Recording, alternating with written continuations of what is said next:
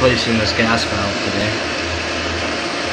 Uh, done some work to the igniter before, but uh, gas valve is not uh, not letting it start. So one right here.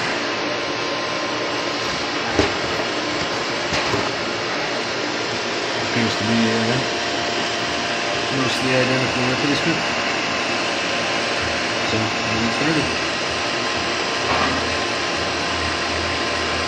One hour later.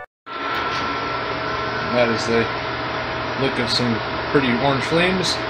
Um, it's very hot today. I really don't want to stand by that any longer than I have to, but I did uh, just replace the gas valve. No big deal. And you can see it's running nice. It fired right off. So not sure exactly what was going on with the last one, but it was uh, not it was not igniting the uh, intermittent pilot there, uh, no matter what we did. So um, if there's just something in the in the orifice or the solenoid is somehow messed up. But uh, anyways, so that's that done, and uh, we got this old beast back on the road again. The repair summary states $155 for the cost of this repair. We will proceed. And as we can see, this corrects the problem.